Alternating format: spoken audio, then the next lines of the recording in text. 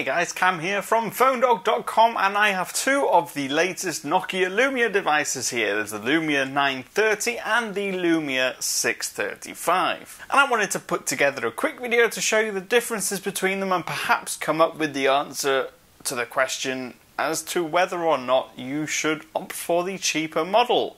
Are you losing out by saving a couple of hundred dollars on this? Let's find out.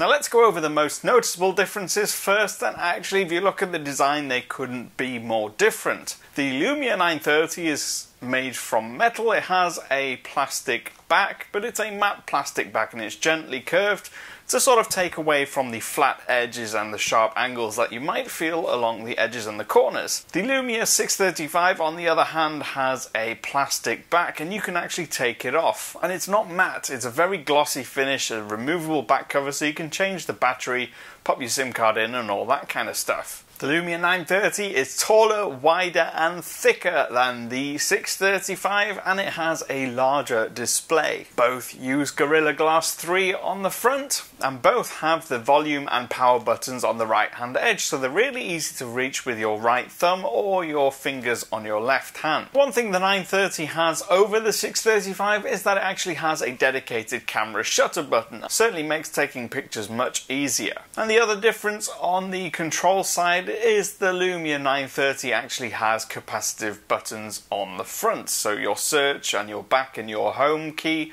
are all there, whereas the 635 has virtual ones in the software built in, so you'll see them when your screen is on but not when it's switched off. And since we're on to the displays, let's talk about those differences. The Lumia 930 has 5 inches versus the 4.5 inch screen on the 635 and you're looking at a resolution difference as well and quite a big one. The Lumia 930 has a full HD display 1080 by 1920 resolution whereas the 635 is a lot less. It's 480 by 854 which gives it a pretty measly pixel density of 218 pixels per inch and that's about half the 441 pixels per inch you'd get on the Lumia 930 so you'll notice a massive difference in sharpness and that's something I noticed right away when I switched on the Lumia 635 actually it's not very sharp at all. You can see pixels, text is not crisp, colours are a bit wrong, and that's not something that you would expect from an LCD panel. Now the Lumia 930 may have an AMOLED screen, but actually it's a very good one. Whites change slightly in colour when you change the viewing angle, but when you're looking at it face on, it's a very bright, very crisp and very good display. The less said about the 635 display, the better. It is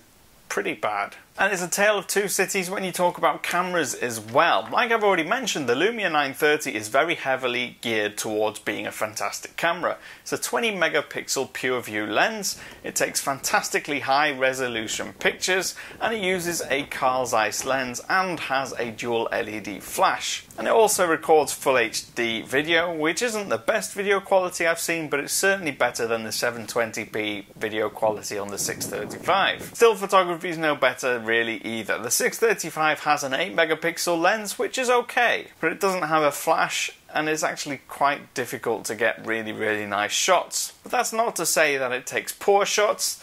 I think the worst part is because the display is so poor, when you take a shot, it doesn't look very good on the phone itself. It will look much better when you transfer it onto a better screen, like on your computer, for instance. Now, on to performance, and they both have very different processing power. The Snapdragon 2.2 GHz quad-core processor on the Lumia 930 is much more powerful than the Snapdragon 400 1.2 GHz processor on the 635. But actually using the Nokia Lumia 635 you won't really notice it that much. Switching between apps and gliding through screens is actually quite seamless and fluid.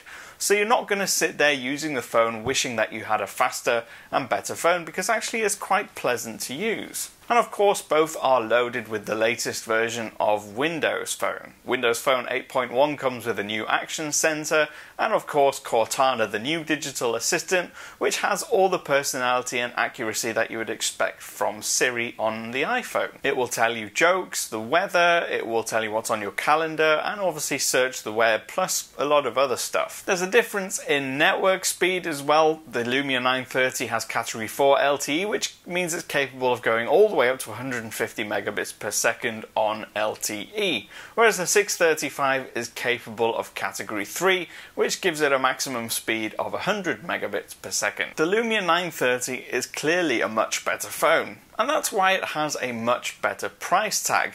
But if you're looking for a budget Windows phone and you want something that's quite nice to use, and it isn't a terrible overall experience, then the 635 isn't a really bad option. It's clearly nowhere near as good as the 930, but if you're on a budget, then it's certainly something worth considering. I've been Cam, I'm at PhoneDog underscore Cam on Twitter. If you have any questions or suggestions, feel free to get me on there or use the comments below. And I'll see you again soon.